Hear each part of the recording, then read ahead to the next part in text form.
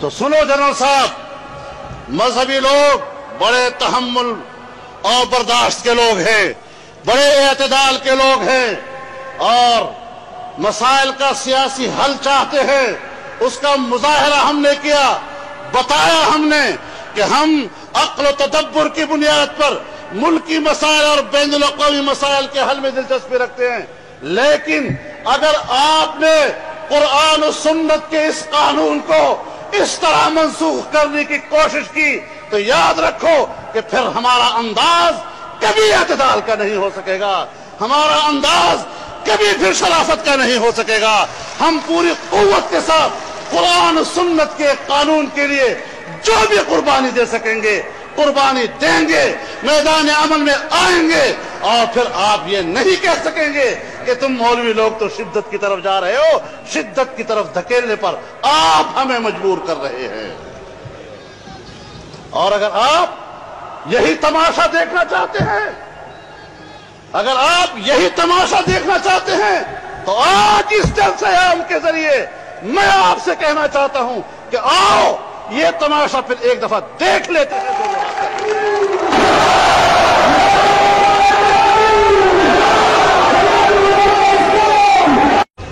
उन्नीस सौ इकहत्तर का हमारे फौज का किरदार भी हमारे सामने है।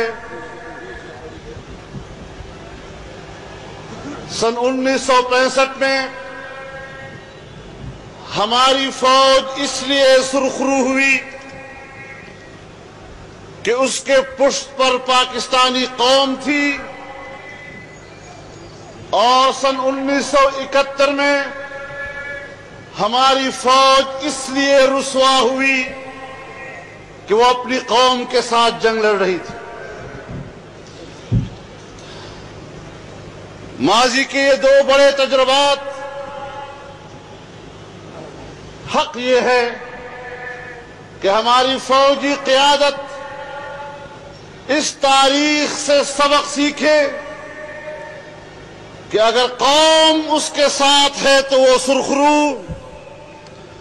और अगर कौम से उसकी जंग है तो सिवाय रुसवाई के, उसके हाथ कुछ नहीं आया। आज के इन हालात में उनको सोचना होगा